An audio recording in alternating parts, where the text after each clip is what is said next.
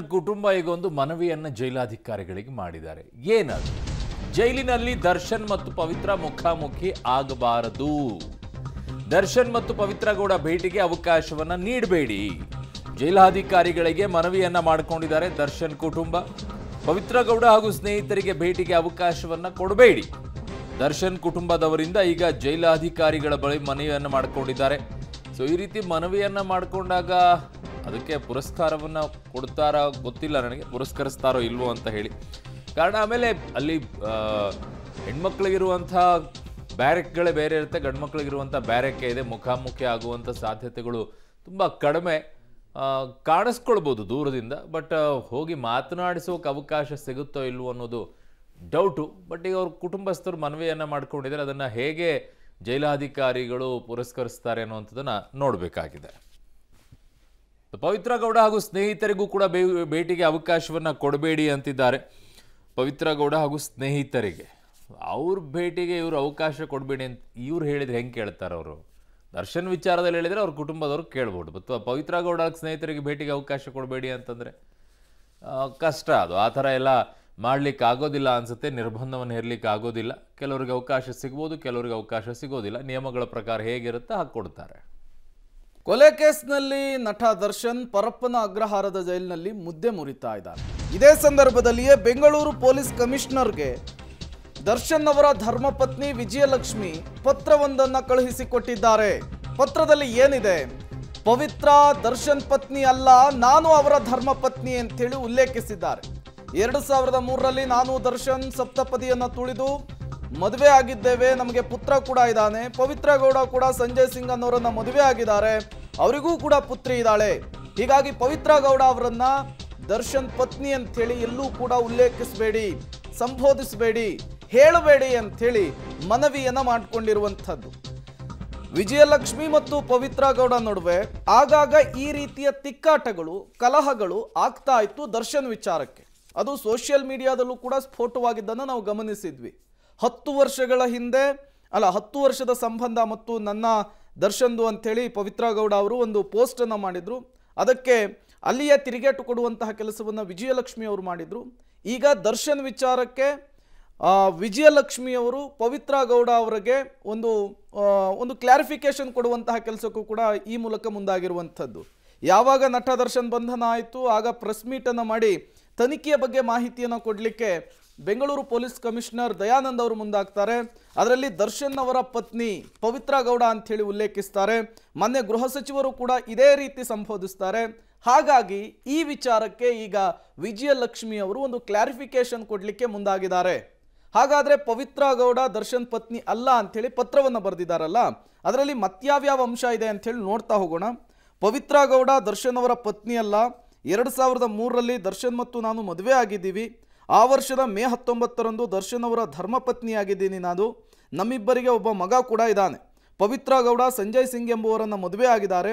ಅವರಿಬ್ಬರಿಗೂ ಕೂಡ ಒಬ್ಬಳು ಹೆಣ್ಣು ಮಗಳಿದ್ದಾಳೆ. ನೀವು ಮಾಧ್ಯಮಗೋಷ್ಠಿಯಲ್ಲಿ ದರ್ಶನ್ ಅವರ ಪತ್ನಿ ಪವಿತ್ರ ಗೌಡ ಅಂಥೇಳಿ ಉಲ್ಲೇಖಿಸಿದ್ದೀರಿ. ಗೃಹ ಸಚಿವರು ಕೂಡ ಒಮ್ಮೆ ಅದನ್ನೇ ಉಚ್ಚಾರಣೆ ಮಾಡಿದ್ದಾರೆ. ಹೀಗಾಗಿ ಪೊಲೀಸ್ ರೆಕಾರ್ಡ್ನಲ್ಲಿ ಪವಿತ್ರ ಗೌಡ, ದರ್ಶನ್ ಅವರ ಪತ್ನಿ, ದರ್ಶನ್ ಅವರನ್ನು ಮದುವೆಯಾಗಿದ್ದಾರೆ ಅಂಥೇಳಿ ಎಲ್ಲೂ ಉಲ್ಲೇಖಿಸಬೇಡಿ. ದಾಖಲೆಗಳಲ್ಲಿ ದರ್ಶನ್ ಅವರ ಪತ್ನಿ ಅಂಥೇಳಿ, ಬರಿಬೇಡಿ ಅಂಥೇಳಿ ಮನವಿಯನ್ನು ಮಾಡಿಕೊಂಡು ಒಂದು ಪತ್ರವನ್ನು ಬರೆದಿರುವಂಥದ್ದು. ಈ ಪತ್ರ ಈಗಾಗಲೇ ಪೊಲೀಸ್ ಕಮಿಷನರ್ಗೂ ಕೂಡ ತಲುಪಿದೆ. ಸಹಜವಾಗಿಯೇ ಇನ್ಮೇಲಾದರೂ ಆ ರೀತಿಯ ಏನು ಹೇಳಿಕೆಯನ್ನು ಕೊಟ್ಟಿದ್ರು, ಆ ರೀತಿಯ ಹೇಳಿಕೆ ಏನಾದರೂ ಕಡಿಮೆ ಆಗುತ್ತಾ ಅನ್ನೋದು ಕೂಡ ಕಾದು ನೋಡಬೇಕಿದೆ. ಮತ್ತಷ್ಟು ಡೀಟೇಲ್ಸನ್ನು ಕೊಡ್ತಾರೆ ಮುರಳಿ, ನೇರ ಸಂಪರ್ಕದಲ್ಲಿ ಜಾಯಿನ್ ಆಗಿದ್ದಾರೆ. ಮುರಳಿ ಈ ಪವಿತ್ರ ಗೌಡ ಮತ್ತು ವಿಜಯಲಕ್ಷ್ಮಿ ಅವರ ನಡುವಿನ ತಿಕ್ಕಾಟ ಇದೇ ಮೊದಲಲ್ಲ. ಈ ಹಿಂದೆಯೂ ಕೂಡ ಸೋಷಿಯಲ್ ಮೀಡಿಯಾದಲ್ಲಿ ದೊಡ್ಡ ಮಟ್ಟದ ಚರ್ಚೆ ಆಗಿತ್ತು.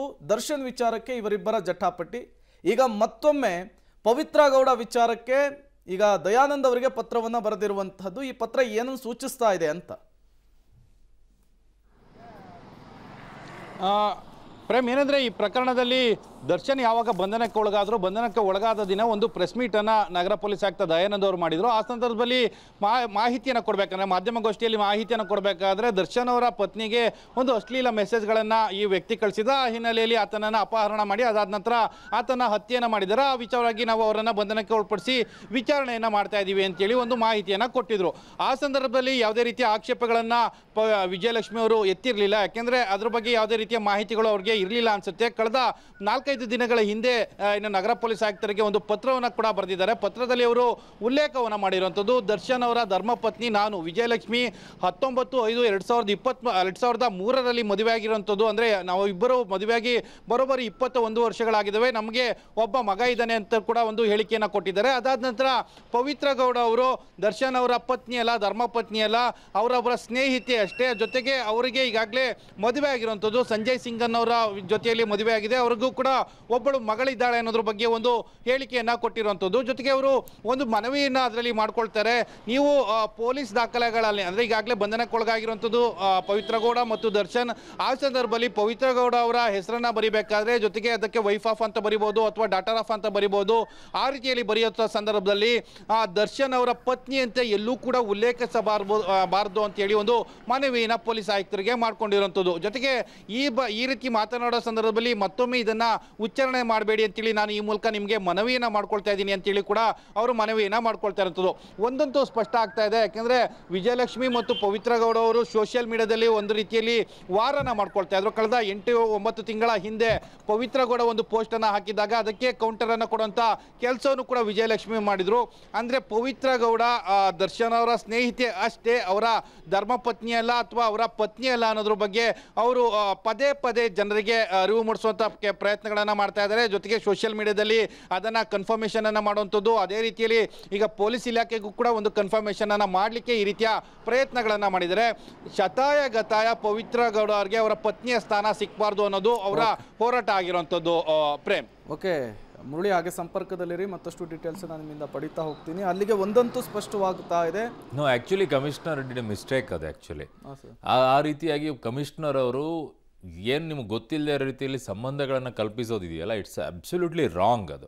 ವಿಜಯಲಕ್ಷ್ಮಿ ಇಸ್ ರೈಟ್ ಅವ್ರು ರಿಕ್ವೆಸ್ಟ್ ಮಾಡ್ಕೊಳ್ತಾ ಇದ್ದಾರೆ ಹಾಗೆ ನೋಡಿದರೆ. ಅವ್ರು they can file a case ಅವ್ರು ಕೇಸ್ ಫೈಲ್ ಮಾಡ್ಬೋದು ಕಮಿಷನರ್ ಅವ್ರ ಮೇಲೆ. ಹೇಗೆ ನೀವು ನಾನು ಪತ್ನಿ ಇರಬೇಕಾದಂಥ ಸಂದರ್ಭದಲ್ಲಿ ಇನ್ನೊಬ್ಬರನ್ನ ಪತ್ನಿ ಅಂತ ಕರೆದ್ರಿ ಅಂತ ಹೇಳಿ. ಶಿ ಕ್ಯಾನ್ ಫೈಲ್ ಮಾಡ್ಬೋದು ಅವರು.